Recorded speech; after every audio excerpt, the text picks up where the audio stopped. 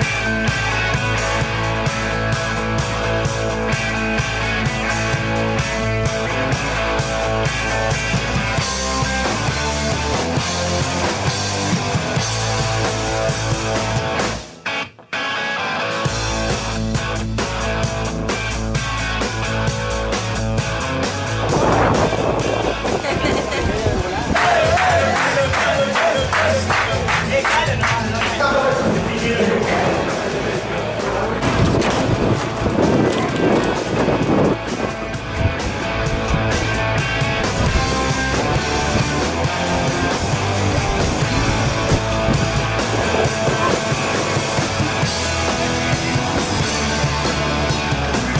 Usted que jugó me imagino que conoce al viento como jugador.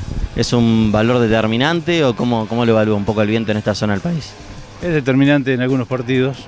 A veces juega a favor, a veces juega en contra. Yo creo que el viento es parte de, de- de la Patagonia.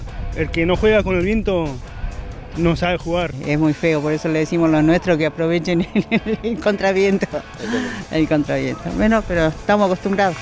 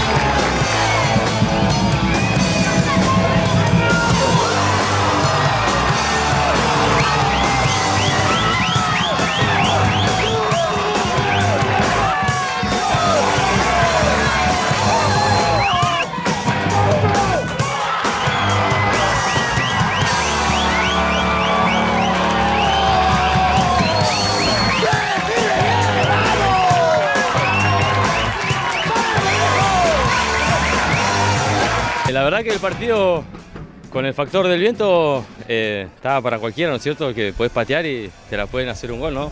Pero bueno, se dio muy trabado el primer tiempo y eh, nosotros tratamos de jugar a la pelota, ¿no? Que es nuestro juego. Así que bueno, el segundo tiempo salimos a eso y por suerte pudimos de pelota parada encontrar el gol que, que bueno, lo que practicamos, ¿no? Y gracias a eso se nos dio para abrir el partido y bueno, de ahí manejar. ¿Cómo es atajar con este viento en estas condiciones acá en el sur? Que bueno, es, es común, ¿no? Sí, es común acá en el sur. Y la verdad que tenés que hacer dos juegos distintos, uno cuando tenés a favor y otro en contra. Tienes que estar más afuera, un poquito más adentro por el tema de los pelotazos de lejos. Pero la verdad ya estoy acostumbrado a jugar con el viento. Así que no es muy complicado ya para mí. Bueno, acá en el sur eh, el viento es constante. En todos los partidos son el 80% con viento. Eh, hay que agradecer que tenemos césped sintético en algunas ciudades. Nosotros en Caleta Olivia tenemos un césped natural que exactamente no hay en el estadio municipal, que ahora se cierra para poner la cancha sintética. Tenemos una, una cancha sintética, después todo piedra. Nosotros todos los días de la semana entrenamos eh, piedra, hay viento, piedra, lluvia, piedra, no hay nada de salón nosotros, no hay nada de cancha eh, natural, ya no hay nada, lamentablemente no hay nada. Los jugadores ya están adaptados, hay que saber manejar el viento en contra, tratar de poner la pelota en el piso, no es negocio levantarla porque así como va, vuelve. Entonces te obliga sí o sí a poner la pelota en el piso y jugar. ¿Y qué preferís, jugar en contra del viento o a favor? Eh, a favor, en contra, en contra. ¿Por qué? Mejor, porque la tenés que tirar en el piso sí o sí. Y ahí jugás mejor. Y primero arrancar en contra. Para el primero sufrir un poco y después el segundo darle con todo con, con los muchachos. Y es viento, ¿viste? Capaz que en una te queda bien a jugar a favor del viento y en otro partido te juega en contra todo, ¿viste? Pero, pero bueno, uno se acostumbra, ¿viste? Y es lo, es lo lindo del fútbol amateur de acá del sur. Y los arqueros del sur sueñan un poco con el gol arco a arco, ¿no? ¿Es más posible acá? Y acá sí, un poco más posible. Ya, ya se han registrado varios goles de, de arco a arco, así que nada, yo sueño con hacer uno, pero sigo. No, todavía no, todavía sigo tranquilo. ¿Qué tiene de diferente jugar en césped sintético en comparación a lo que es una cancha de césped normal o de tierra, como se ve mucho aquí en el sur del país? Tal cual. Esta cancha dentro de todas es muy buena. ¿Por qué te digo eso? Porque hay muchas canchas que tienen mucho caucho y el pique por ahí te juega en contra. Eh, la pelota vos la esperás en una zona y por ahí te, te picó mal con efecto y se te fue para cualquier lado. Esta es la cancha de nuestro rival acá en el pueblo. Eh, lo único que está habilitado. Nosotros jugamos en tierra. Entrenamos toda la semana en tierra, venimos un solo día a la semana a entrenar en sintético Así que creo yo que entrenar en tierra nos favorece porque si ya le agarramos la pelota a la mano ahí, acá somos... Acá va muy rápido, ¿no? Sí.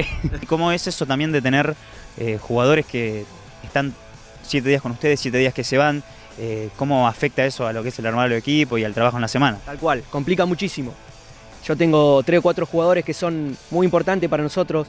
Te diría que son jugadores titulares, pero al no poder tenerlo en la semana, se complica el armado eh, y no creces en el aspecto táctico. Te bajan un viernes, ya no podés entrenar fuerte y lo tenés para el domingo. Nosotros eh, estamos trabajando en una mina, estamos a 200 kilómetros ¿no? del pueblo. Somos siete días acá en el pueblo, siete en, en la mina, así que bueno, un fin de semana estamos, otro no.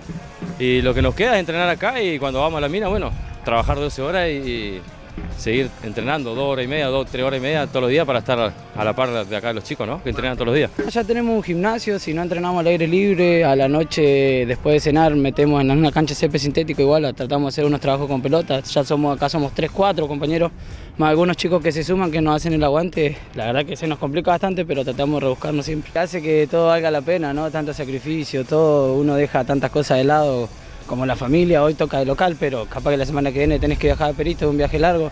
Imagínate yo, una persona que labura 7 días fuera de la casa y llegar y ir solo por 90 minutos, dicen algunos. Eh, la verdad que, que hace valer toda la pena.